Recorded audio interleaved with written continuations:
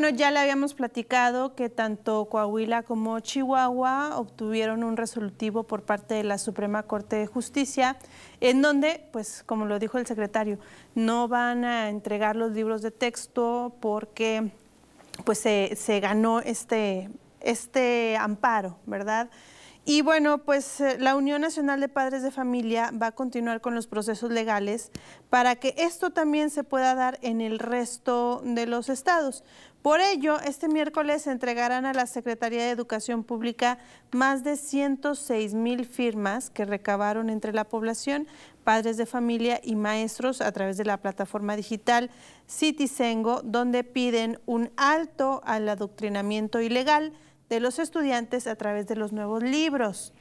La Unión de Padres em, logró obtener este amparo ante el Juzgado Tercero del Distrito en materia administrativa en la Ciudad de México, con el que se ordena a las autoridades federales y locales utilizar los programas y libros aprobados para el pasado ciclo escolar.